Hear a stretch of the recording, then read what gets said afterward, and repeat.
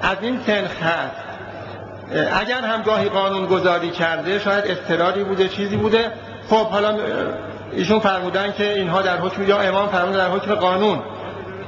عرض کنم که ما این رو قبول می‌کنیم. حالا مجلس وارد مسئله شده قانون رو تصویب کرده. اگر اشکالی داشته باشه شورای نگهبان این اشکال رو مطرح خواهد کرد. و بعد هم جناب آقای حسینیان فرمودن که برای اینکه مشکل اصولگرایان هم حل بشود. اصولگرایان هیچ مشکلی غیر از امثال جناب و دوستانتون که برنامه دیروز رو پیاده کردید ندارن.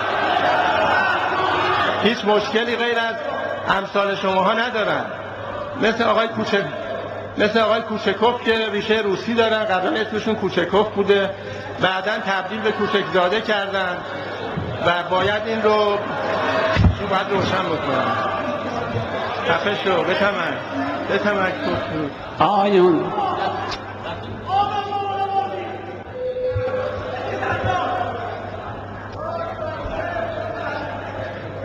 خب. اجازه بفرمایید. اجازه بفرمایید. خب.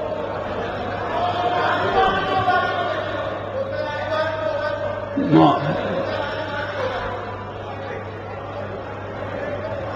بفرمایید میکروفون است 261 رو باز کن. 261 رو باز کن.